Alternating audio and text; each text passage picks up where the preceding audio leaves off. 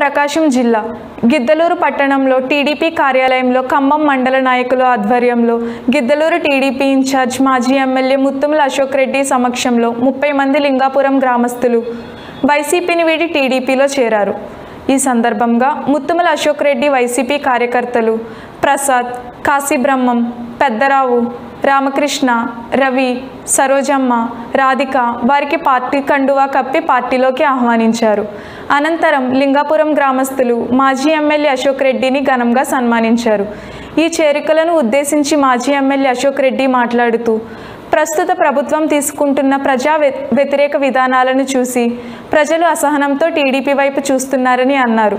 ఈ కార్యక్రమంలో మండల అధ్యక్షులు తోట శ్రీనివాసులు రాష్ట్ర ఎస్సీసెల్ ప్రధాన కార్యదర్శి గోన చెన్నకేశవులు మండల బీసీసెల్ అధ్యక్షులు బొందలపాటి వెంకటరమణ మండల ప్రధాన కార్యదర్శి అరేపల్లి మల్లికార్జున్ పార్లమెంట్ మైనార్టీ ప్రధాన కార్యదర్శి సయ్యద్ దనీష్ అహ్మద్ మరియు తదితరులు పాల్గొన్నారు.